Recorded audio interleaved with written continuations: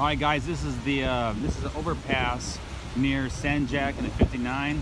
We were about uh, it's about a, about a mile that direction is where the river's at. We were there yesterday, and it was probably two to three feet underneath the bridge. Some locations it was starting to hit the bridge on the sides. We knew it was gonna be overtaken, and it's gone. I mean, the river is completely taking this over.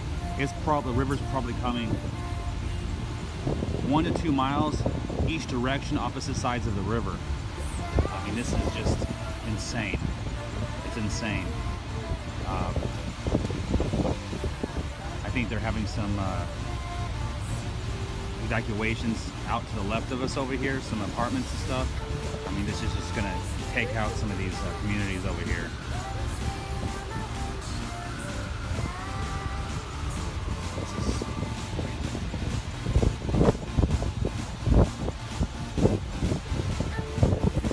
Want to drone and try to get some footage for people, people that are worried about their homes, worried about their property. Um, but the rain just won't let up. We're to stand out here for a little bit and see if we can get a small break in the weather. But right now, there's just, there's just no chance of it. Let's go look over here, see how this side looks.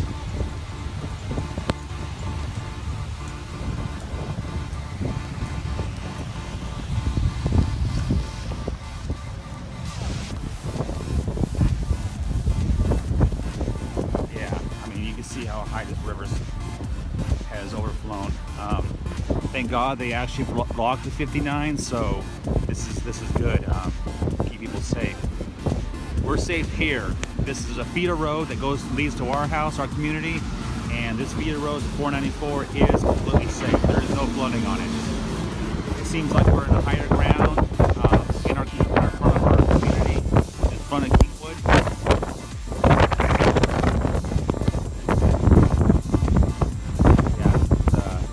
crazy. I'm actually gonna try to get a couple uh, drone videos. I'm I think I might chance it. Maybe some pictures just from the bridge. I won't be able to go anywhere. I might just be able to take a couple pictures. That's it. I mean, look at that middle uh, divider. Just,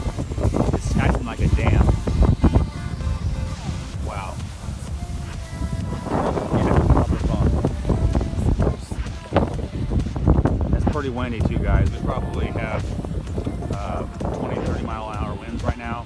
And I, am sure it's starting to get worse because the hurricane coming towards us. So, alright guys, um, that's it for right now. Uh, I'm sure most of you know about this already, but uh, I'll try to move to some other areas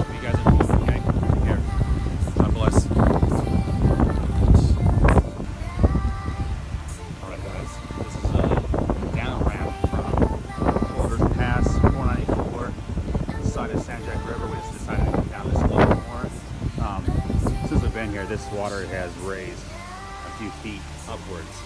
So uh, we just heard on the news it hasn't crested. This is going to get worse. It wasn't worse already, it's getting worse, guys. And it's rain, it's not letting up. I just tried a drone. I didn't think I'd have a chance. Got a few pictures, and I almost lost my drone again. The winds are in excess of 30 miles an hour. I know that because my drone goes 40 miles an hour top speed, and I barely, barely made it back. It was dangerous. I'm gonna have to wait, and I, I, I literally can't go past my personal location. It's, right now, the wind, I feel it, it's, it's, it has to be at least 35, 40 miles an hour, it feels like. And again, I know that because my drone goes 40 miles an hour, and I inched, inched back to me. So, I was finding it pretty hard. Um,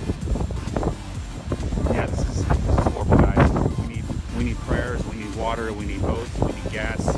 Uh, gas station right here is completely boarded up. Uh, can't find any fuel. Um, yeah, it's bad, guys. It's real bad.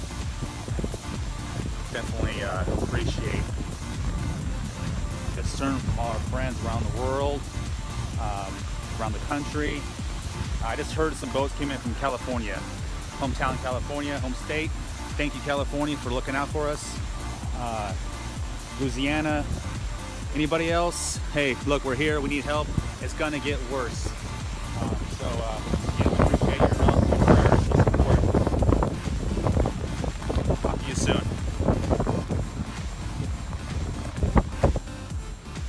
Real quick, this is over the uh, overpass, Sorters overpass over the 59, um, 494, Humble, Kingwood area.